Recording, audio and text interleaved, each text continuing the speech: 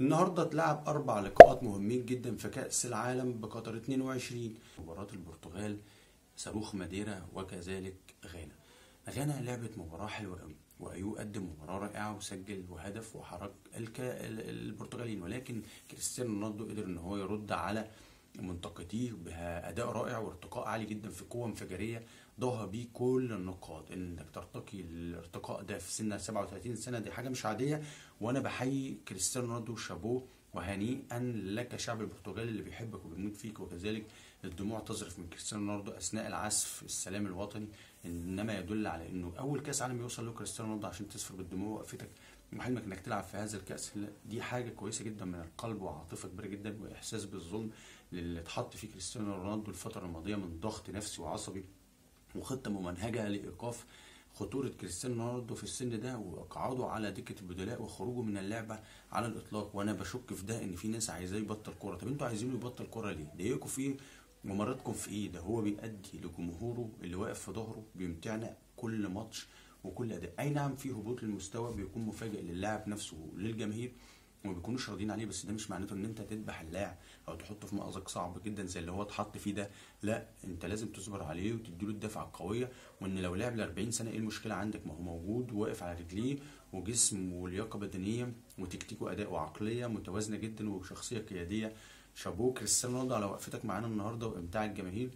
أي نعم رتمك ما بقاش زي زمان في المهارات الفردية ولكن أنت بتلعب باللي بتقدر عليه وبتعمل حاجة كويسة جدا. وما زلت بتكسر الأرقام لكأس عالم خمسة متتالية في التسجيل شابوه كريستيانو رونالدو تحية لك من قناتي هذا وأتمنى إن الناس تصبر على كريستيانو رونالدو وتشيله خالص من دماغها وينتقل إلى نادي يلعب فيه ويأدي فيه مستوى رائع ومستوى من الأداء الجميل اللي ما زال بيمتع فيه إيه الجمهور طبعا كريستيانو رونالدو من اللعيبة اللي لها وزن في كأس العالم وبيضاهي كريستيانو رونالدو بنفسه وأتمنى إن. إن أنا أشوف نهائي ما بين الأرجنتين وما بين البرتغال ويكون بين ميسي وكريستيانو رونالدو. أي نعم اللي يكسب فيهم يكسب ولكن هيبقى نهائي القرن والذي لم يتكرر ابدا. بين أكبر نجمين في تاريخ كرة القدم مثلما حصل سابقا في 98 ما بين رونالدو نازاريو بتاع البرازيل وما بين فرنسا زيدان. واللي كان نهائي كويس جدا كسب فيها زيدان ساعتها ولكن كان نهائي له وزن وثقل وسمع وما زال لم يتكرر حتى الآن. نتمنى نشوف نهائي برتغالي أرجنتيني ما بين ليو وما بين الدون كريستيانو رونالدو. مباراة البرازيل بقى كانت مباراة حلوة جدا فيها شخصية وفيها متعة من الأداء. رتم البرازيل في الشوط الثاني كان أعلى بكتير من الشوط الأول.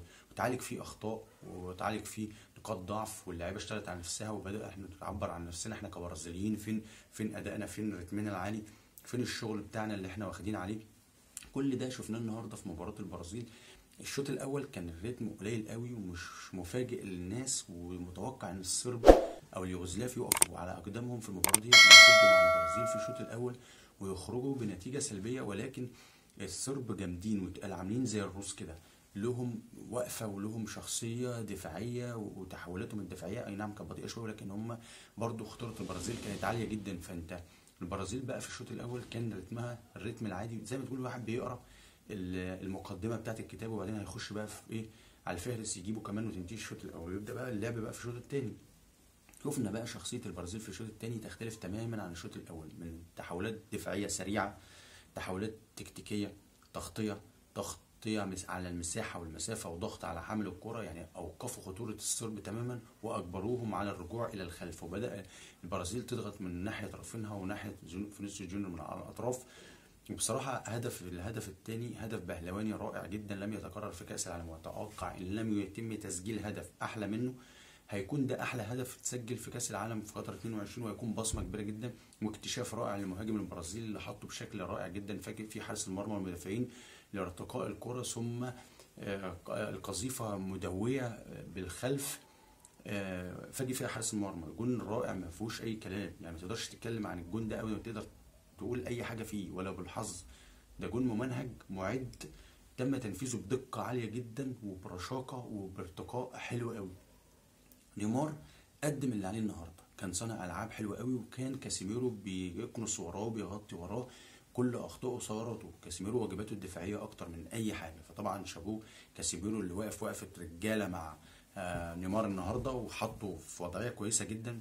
ونيمار أتمنى إن هو يستمر. نيمار معد قوي لكأس العالم منذ الموسم ده ومن بدايته. شغال كويس جدا مع باريس سان جيرمان وده النهارده في مباراته الأولى. دايما المباراة الأولى واللي على بتبقى على تجمع سريع ما كانش فيه معسكرات عشان انتهاء من دوريات إلى كأس العالم مباشرة. وان كان المنتخبات بتتلم بسرعة ولكن أنا شايف إن الكاس ده معمول حسابه من جوه اللاعبين نفسها. في الدافع والحافز بتاع اللاعبين هو اللي محل الكاس وحطه في الوضعية اللي أنت شايفها دي. شابوه البرازيل اللي لعبت حلوة قوي النهارده مع الصرب مثلها مثل البرتغال. أربع لقاءات كان أدائهم رائع جدا كلهم بلا استثناء. أنا شايف إن الثمان فرق اللي لعبوا النهارده مفيش فرقة كانت فيهم وحش. أنا عايز أقول مباراة سويسرا والكاميرون شابوه للعب والاداء من الطرفين. أي نعم خسرت الكاميرون ولكن جود لك المرة الجاية. وشكرا سويسرا على الأداء والريتم السريع. نبدأ باللقاء الثاني أوروجواي وكوريا. كانت مباراة صعبة وباردة مياه باردة بمعنى الكلمة. أوروجواي عاملة زينا بتحب الشو بتحب اللعب السريع بتحب الريتم السريع وتحب الأداء مع فرق يكون قوية يعني. شوفوها وافتكروا كلامي ده مع مباراة مع البرتغال في نفس المجموعة. نبتدي بقى للقاء الثالث اللي هو كان البرتغال وغانا. ريتم كان كويس جدا من الطرفين وغانا كانت ند في الشوط الأول خرج بصفر صفر. ولكن مع بداية الشوط الثاني فاجئت البرتغال بهدف سريع جدا وقدروا إن هم يقولوا كلمتهم وبصمتهم في الكأس ده ويسجل الدون ضربة جزاء مهمة جدا وأحد أهم كؤوس بالنسبة له الخامس في التسجيل على التوالي وكسر في الرقم القياسي. وبدأت البرتغال تضاهي غانا إلا غانا عن طريق أقدام ايوب تتعادل وتحط البرتغال والبرتغاليين في مأزق. كبير جدا. ولكن الحلول كانت بالنسبة للبرتغال أعلى وأعلى وسجلوا الهدف الثاني والثالث عن طريق جواو فيليكس. يعني بصراحة ومهاجم أفريقي الأصل حط كرة في الزاوية البعيدة وده الطبيعي للبرتغال إن هي تتفوق على غانا اللي كان رتمها متواضع إلى حد ما في الشوط الثاني وهبطت اداء ولياقة بدنية. نبدأ بقى على اللقاء الرابع واللي اتختم بيه اليوم النهارده كان البرازيل وصربيا يوغوسلافيا سابقا. طبعا اليوغوسلاف أو الصرب كانوا مهمين جدا في صعودهم لكأس العالم النهارده وأحرجوا البرتغال وحطوها في الملحق الأوروبي وصعدوا هم مباشرة إلى كأس العالم. فده فرقه جاية تلعب النهارده في كأس العالم واقفة رجليها. بس أنت بتلعب البرازيل حبيبي مش بتلعب أي حاجة. البرازيل اللي علمت الكرة المتعة والمهارة وعلمت الناس كلها المتعة والمهارة وعرفت الأقدام البرازيلية وهي بتمرجح أي مدافع. وفي مراوغات عالية جدا من رونالدينيو وسابقا بقى الأجيال كلكم عارفينها مش هياخد في الأجيال السابقة ولكن البرازيل دايما شخصيتها الكرويه وأدائها الرائع. ده بصمة كبيرة جدا في كأس العالم بالذات.